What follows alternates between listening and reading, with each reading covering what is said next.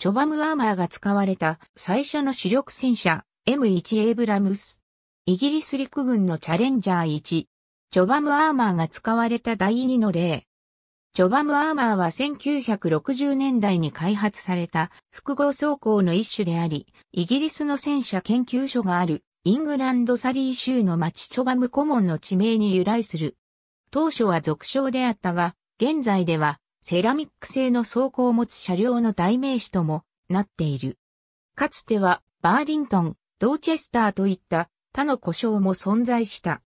ジョバムアーマーの詳細は今でも公開されていないが、セラミックタイルが金属製のマトリックスと呼ばれるケースに収められ、保持板と何層もの樹脂によって接着されているという構造は明らかになっている。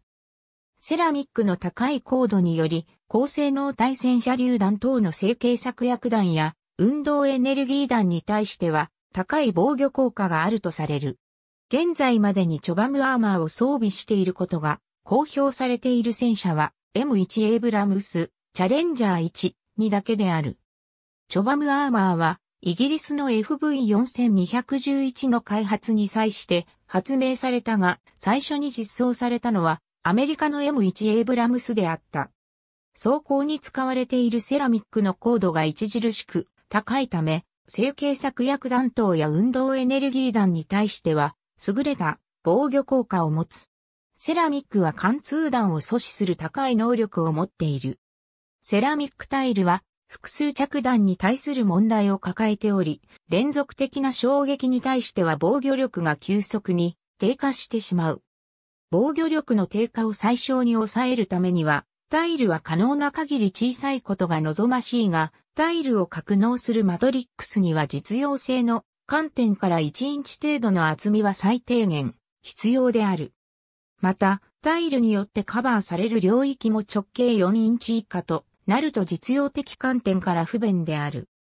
マトリックスに格納された六角あるいは正方形のタイルは加熱したマトリックスに等圧的に押し込むか、またはエポキス接着剤で固定されている。なお、タイルを等圧的にマトリックスの中に押し込めておく方法は、接着剤を使う方法と比べ、運動エネルギー弾に対する防御効果が著しく高いことが90年代の初頭に判明している。マトリックスは保持板によって支持されるが、これにはセラミックタイルを裏側から支える機能だけでなく、衝撃によるマトリックスの変形を防ぐという機能もある。保持板の質量は典型的には複合走行の質量全体の半分程度を占める。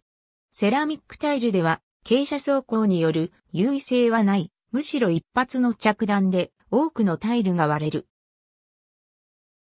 そのため割れが伝播しないようにあらかじめ分割されている。多くの複合材が長年開発されてきたが鉄と同重量で約5倍の耐性があるとされる。